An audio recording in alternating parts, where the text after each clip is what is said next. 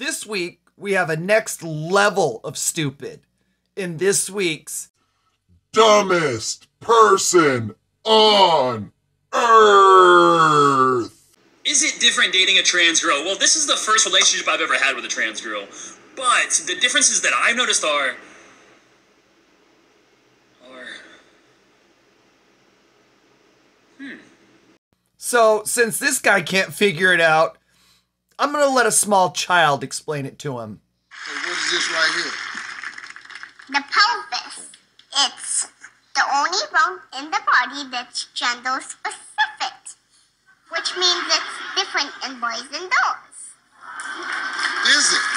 Yes, the pelvis's job to protect the organs used for digesting and reproduction, which means throwing babies. And if he still doesn't understand from that, I can even simplify it.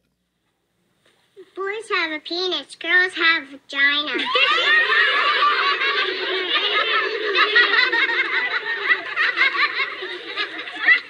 So, to recap, women, no penis.